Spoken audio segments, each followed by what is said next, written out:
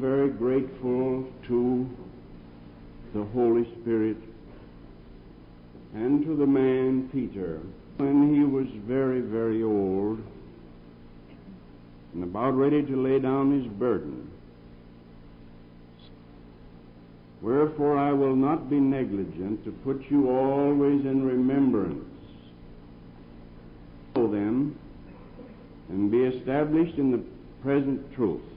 Yea, I think it meet, as long as tabernacle, to stir you up by putting you in remembrance, knowing that shortly I must put off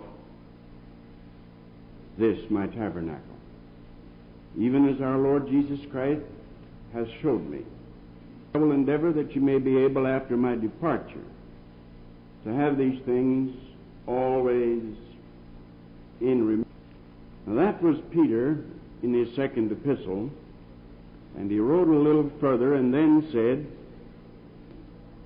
The day of the Lord will come as a thief in the night, in the which the heavens shall pass great noise, and the elements shall melt with fervent heat. The earth also and the wind shall be burned up. Seeing then that all these things shall be dissolved, what ought ye to be in all holy conversation and godliness, looking for unto the coming of the day of God, wherein the heavens being on fire shall be, and the elements shall melt with fervent heat. Nevertheless, we, according to his promise, look for new heavens and a new earth, wherein dwelleth righteousness. Wherefore, beloved, that ye look for such things, be diligent, that ye may be found of him in peace, without spot and blameless. The long suffering of our Lord is salvation. Even as our beloved brother Paul also, according to the wisdom, hath written unto you, as also in all his epistles, speaking in them of things in which are some things hard to be understood, which they that are unlearned and unstable wrest, as they do also the other scriptures, for their own destruction. Ye therefore, beloved, seeing ye know these things, beware, lest ye also, being led away with the error of the wicked, from steadfastness, but grow in grace and in the knowledge of our Lord and Savior Jesus Christ. Glory both now and forever. Amen. Now those last two verses, ye therefore beloved know these things before, why be careful lest ye be led away with the error of the wicked and fall from your own steadfastness, but grow in grace and in the knowledge of our Lord Jesus Christ. Now, this is the language of the dear old apostle. Ye beloved. I still believe, I've said it a number of times in various contexts, but I still, old Christians ought to be sweet, mellow Christians. And that we ought to get mellow and gracious as we get older. We find it here very plain. Last epistle of Peter's, a perfect blend of tender love and severe faithfulness. Now, one is necessary to the other because without one you have harm, without the other. If a man is only filled with tenderest love, then he is likely to become sentimental, or he is likely to become so tender that he's harmful to those he ministers to. But if, on the other hand, he is simply faithful to truth, he injure with the very truth he is using to help people. But Peter seemed to have both. He said, You, beloved, seeing ye know these things before. And he took a good measure to account to would have this before us long, long after he was gone. He said, Seeing you know these things and these things, well, the things named above, the certainty of judgment for all mankind, holds up action and doesn't judge, not because he is careless, but because he's waiting for him. And then that the day of the Lord will come as a thief in the night, and that the passing away of the whole creation is before us and is coming, and the establishment of a new created eternity. This, these are the things, at least some of the things that he referred to, and said these things. And so he held them before us as a reason for our Christian living. Then know these things, beware. Now here is a red light. Here is a caution light. He said, Christians, I'm going away from you, and you're going to be left here in what he other where called and adulterous generation. And so you're going to have to beware. That is, exercise moral courage. Today, out, uh, I don't know in how many towns throughout the United States and on highways between, there will be men, or young men maybe, driving without caution. I suppose we tend to, as we get older, but I've seen old men drive with anything but caution. But there will be a number of them. I couldn't tell you, I could say none, but I know there will be many who will forget to exercise caution, will press on the gas and pull their great cars up to tremendous speeds and fail papers called negotiate a curve. They mean they couldn't make the curve. And uh, hit, uh, go into a gully or a bridge, and they will be gathered up dead.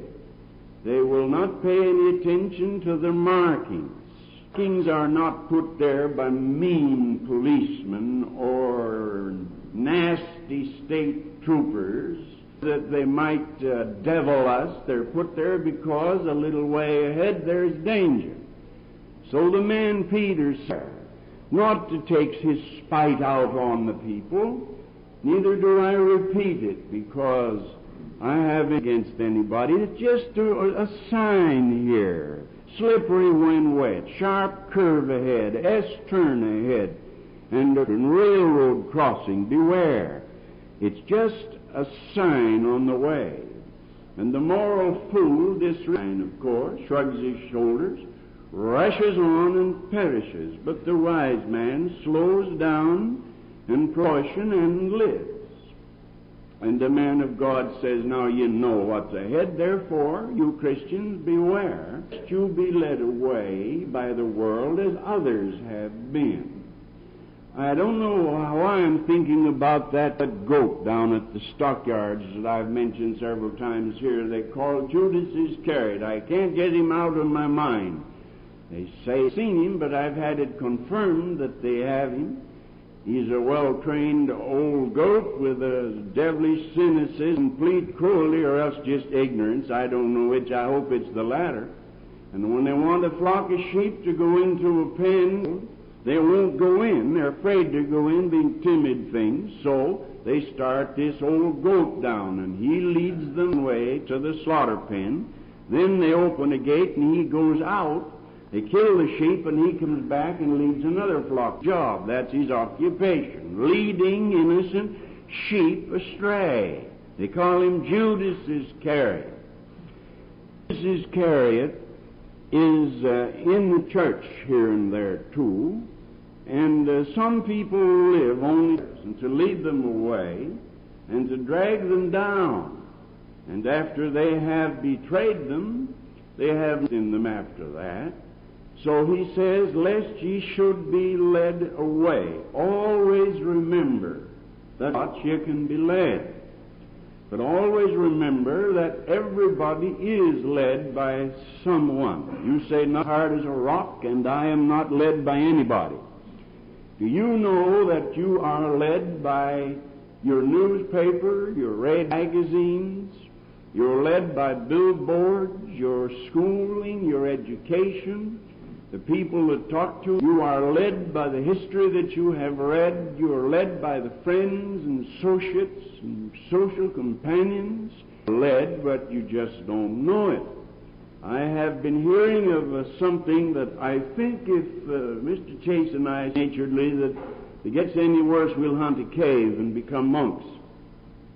I don't think we ever will, but under certain, uh, I'm inclined a little more that way lately because I've heard of a strange thing, a subconscious, subaudible uh, advertising they're putting on now on the radio. Your subconscious hears it, but you don't hear it.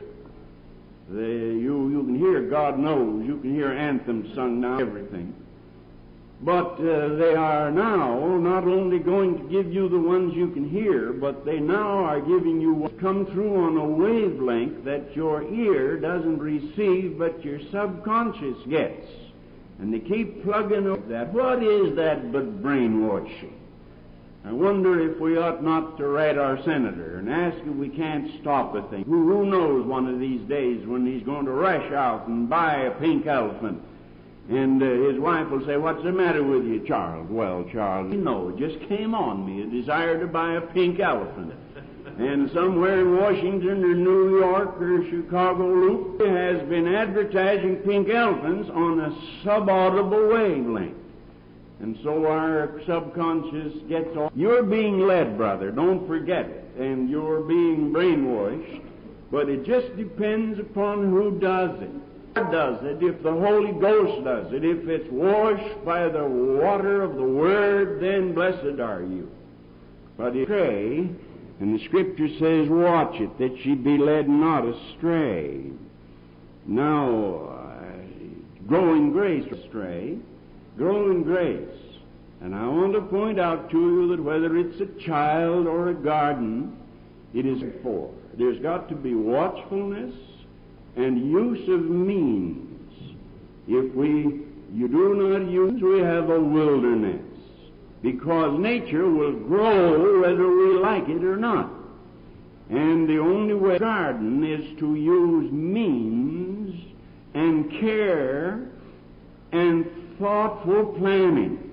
If you don't use thoughtful planning, and take care, you'll have something growing out there, all right, because nature will, but you'll have a wilderness. And the difference between a wilderness and a garden is that the wilderness grows, grows in the garden is carefully planted. Grow in grace. Grow in grace and in the Christ our Savior and Lord.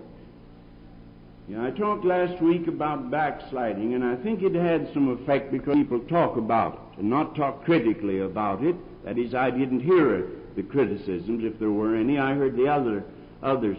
But have you ever stopped to think how many times we've gone to altars and knelt uh, at chairs and benches and prayed and the evangelists asked us to and have gone forward and renewed our vows and consecrations? Have you ever thought how that well, a lot have done it, and uh, I wonder how many have gone on then and grace. The Word of God says it is better not to vow than to vow and not pay. But the Bible heroes their vows, and the Christian heroes since Bible times vowed and kept their vows, and there are those who made vows and kept them. But we stand and we reassert our vows and reconsecrate over and over again down the years. It's like getting married again, taking your vows over and over and over and over. And a new voice is heard, we come and take our marriage vows over again. I think it's silly, but uh, we might, as to be doing all of this vowing and standing and promising and never doing anything about it. Vow and pay, but it's better not to vow than to vow and not pay. I've been reading Henry Suso, Heinrich Suso, Suso, I think. You know my. Uh, this Henry Suso, if you'll allow us to anglicize him. He was an old saint who lived in the 20th century, and I just been reading his conversion. Began to serve the Lord when he was, let's see, five off of 18 would make 13, wouldn't it? 13. But he got no place. And he said he was quite contented just to keep out of the sins that would spoil his reputation. But as he went on trying to live a good life, why, uh, conviction for sin came on him. The burden not only for the sins that would have ruined his reputation, but for the sins that would have ruined his relations with God. So suddenly, instantaneously, he was converted. Converted just as suddenly and instantaneously as the flash. Well, immediately after he was converted, he, he, he began to get moved inwardly to become a saint. The young fellow, he was 18 then and to seek the face of God and to put the world behind him and the flesh under his feet. And that immediately the voice of the tempter said to him, Now, Henry, it's all right for you to be uh, a Christian, but you know this this saintly business, this desire to be uh, an unusual Christian. That's all easy to talk about, but it's awfully hard to do. He said, he answered back and said, Well, but God can help me. And he said, The voice of the tempter said, Henry, God can help you, but will he? And he said he went to there and settled that one. And he said, I found that God not only could, but was willing to help anybody who wrought in his name. So when the voice of the tempter couldn't, or the tempter couldn't get any further with him, that way, why, he smooth and soft and patted his back and said, All right, Henry, it's very good. God will help you. Know that. But now why make a production out of it? Why push it so far? And why be unlike other people? Take it easy. Eat and drink and relax and, and uh, be like the other Christians around you. They expect to go to heaven. Why should you want to be any different? Well, that was convincing enough, so he went to the Lord about that. And he said, The voice of eternal wisdom said, I don't know what that was. It could have been the Holy Ghost or the Scriptures or the voice of God in him. But he said, The voice of eternal wisdom said to him, Henry, anybody who tried to catch a slippery eel by the tail, or try to live the saintly, begin the saintly life with a cool, lukewarm heart, both are man. And Henry heard that. And God said to Henry, Don't let him talk you out of it. Remember, anybody who thinks he can serve God and live for the world is a fool. Don't try it.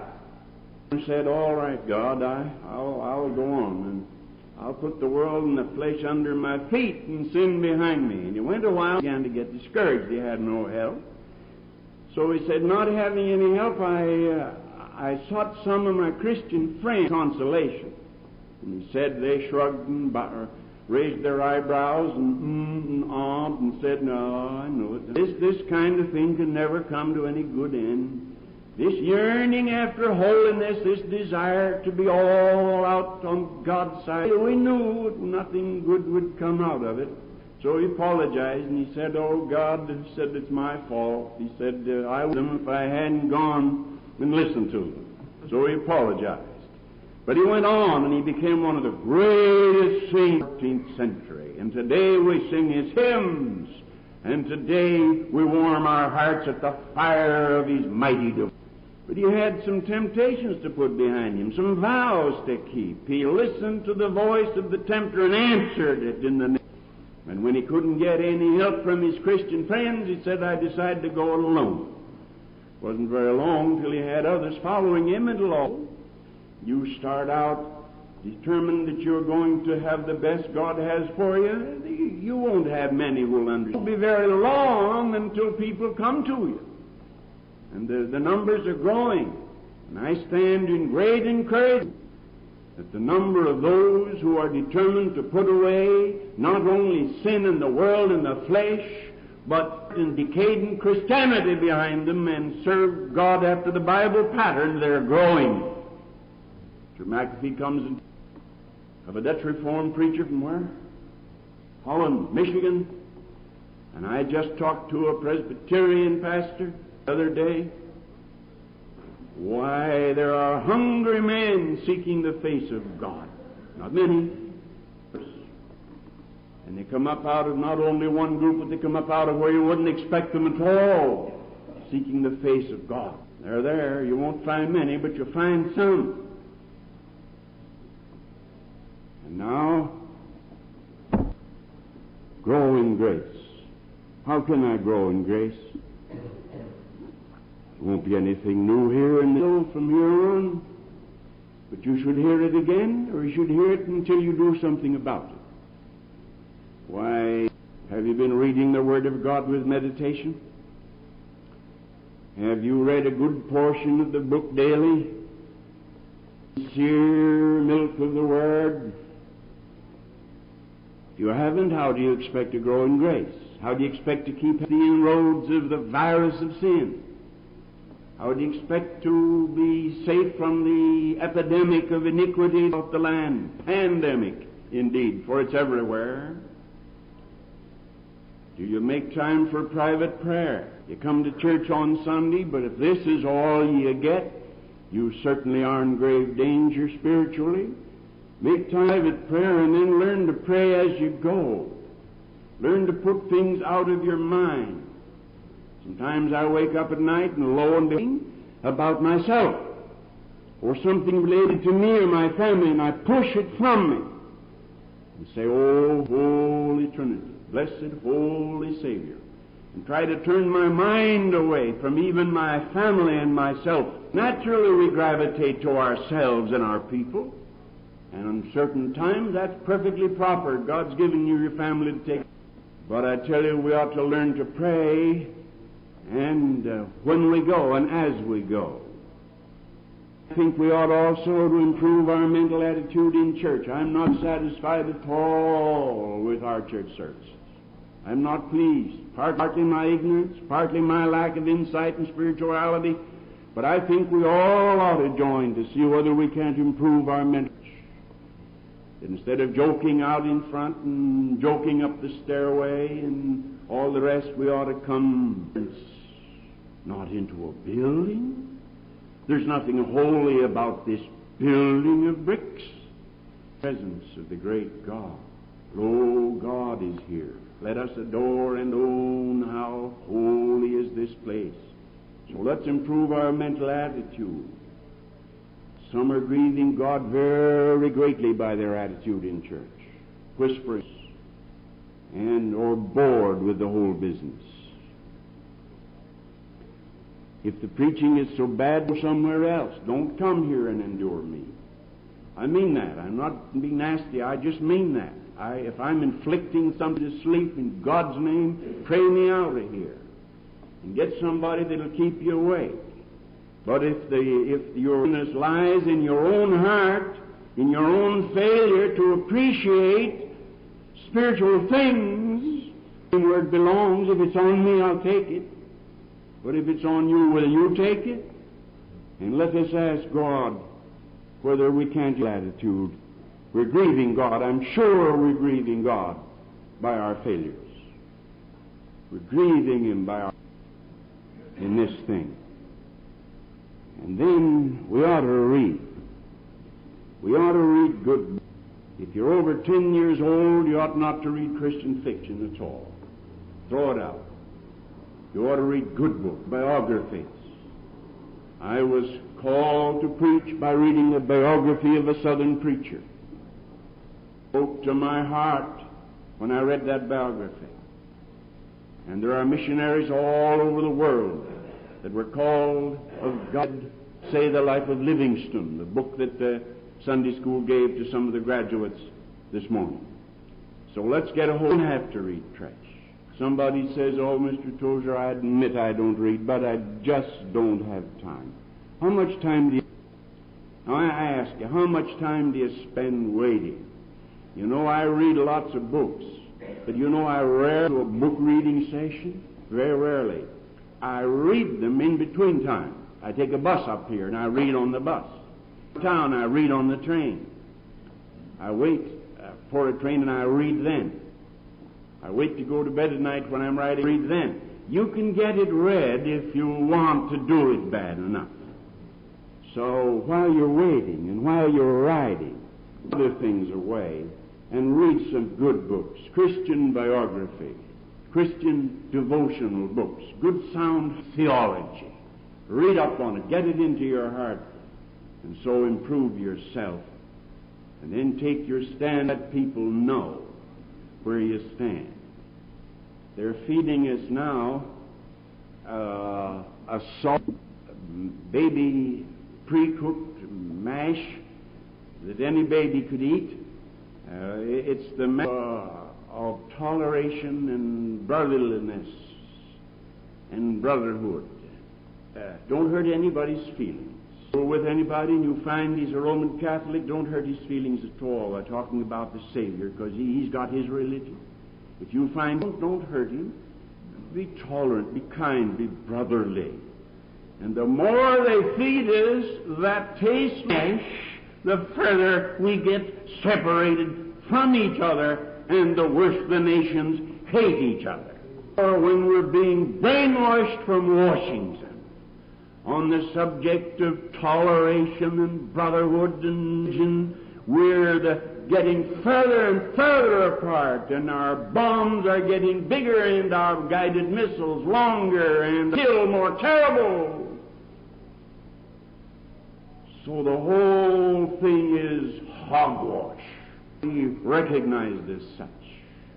Be a witness for Jesus Christ. Tell somebody not later than tomorrow morning. See what it does for you. I remember when I was a very young Christian, I used to, another fellow and I, just two of us, neither one of us could. sing. So we didn't have a singing service, but we used to ride to Kent, Ohio. Kent, Ohio was a little town. We went to the mayor and whether we could have street meetings. He took us good naturedly, I think rather with a grain of salt or maybe a whole pinch, and said, Sure, sure, boys, you can have street. And we used to go up there like an ox to the slaughter, you know, hating to do it. Oh, how I hated it. Because I never was much for approaching people like a salesman. I'd walk past the door five times rather than push the button, the doorbell. But we'd get up on the street. I'd start to yell. And uh, somebody'd say, oh, now, just exactly what happened to him. And begin to gather. And pretty soon in that little town of Kent, I would have a great crowd listening to me. And my brother-in-law was along, the preacher. He was a slow talking southerner who kept his voice low, but his face was with the light of God. And after I'd preached until I'd worn myself out, I'd put him on to testify. And then after we'd close, we'd get all in those days an interurban, a streetcar that ran between towns. Oh, what relaxation and joy and delight on the way home. I didn't want to do it. It wasn't the thing I liked to do. I'm not born for that kind of thing. I've met men that never saw a stranger.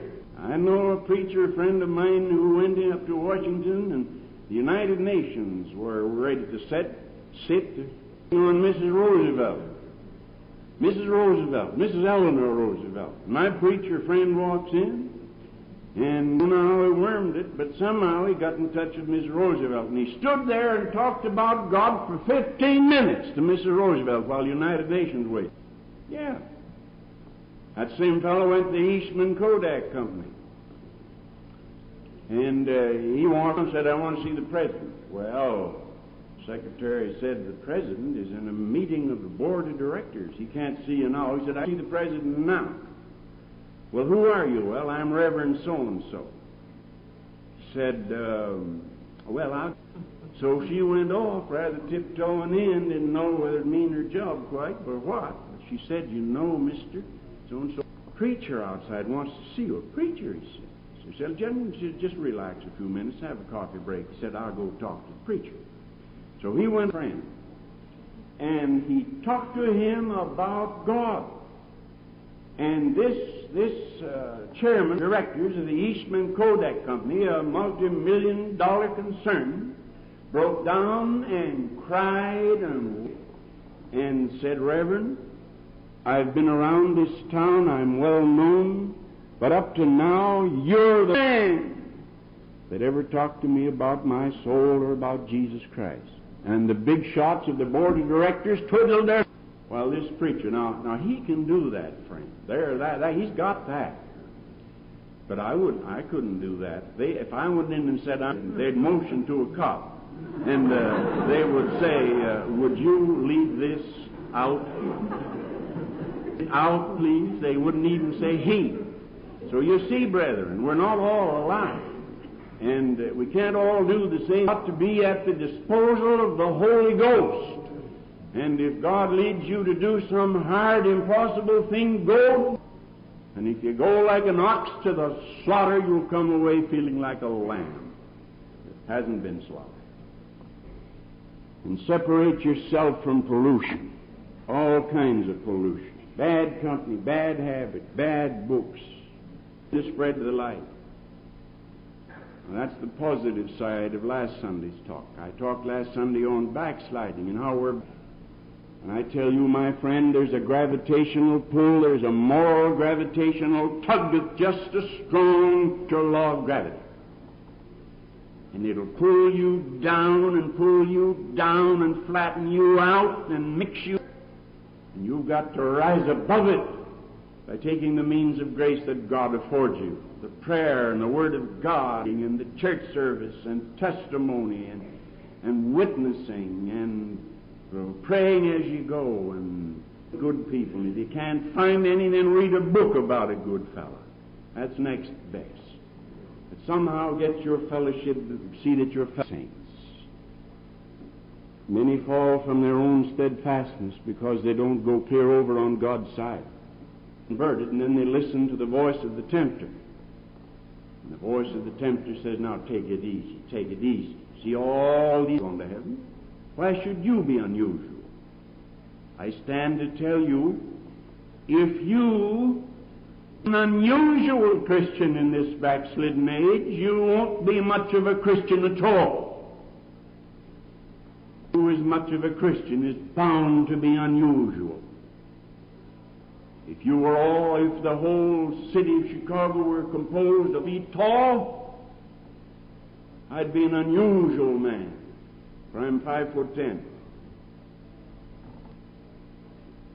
And in a, in a Christian society where we're pygmies, he determined to be unusual, to stand out.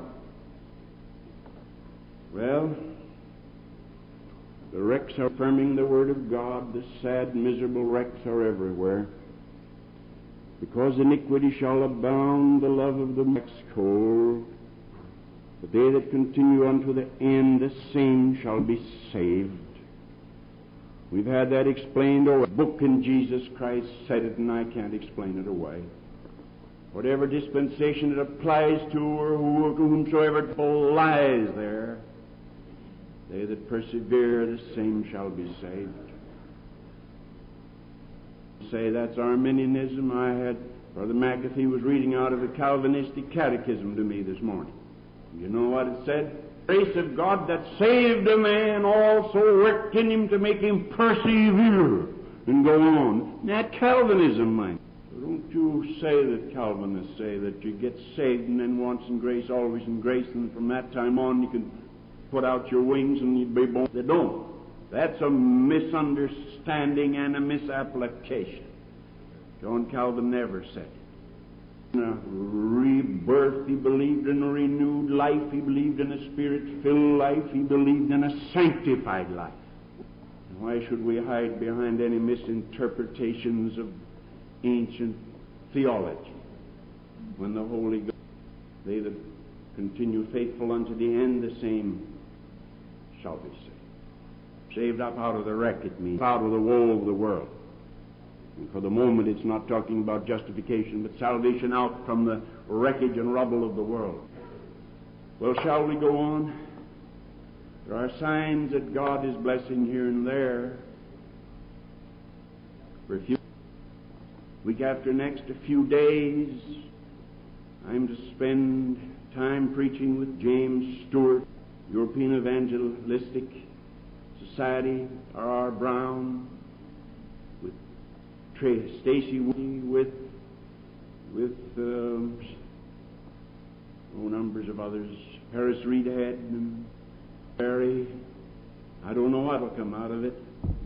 But oh, brethren, won't you pray that God somehow or other, they're, they're but we're not organized. We're not together. We're, we're, we're wasting our sweetness on the desert air, if you'll excuse the expression. I wonder if God won't raise up some fellow like Reidhead or somebody else who's young enough and vigorous enough. Pull this all together. Perhaps the Holy Ghost will bring a new kind of revival to the world it won't just scrape us down to the roots of human living so that we may be saved from our sins and from ourselves and from the world and from iniquity and from our present and saved unto a life of saintliness and holiness before God. Won't you pray? Won't you? I'm praying for this. Tonight I preach my third sermon on worship. I can hardly wait. I could wish I could start now. I had such a marvelous time preparing it. If the music tonight is anything like it was last night, last Sunday night, I look forward to relish and delight. God bless you.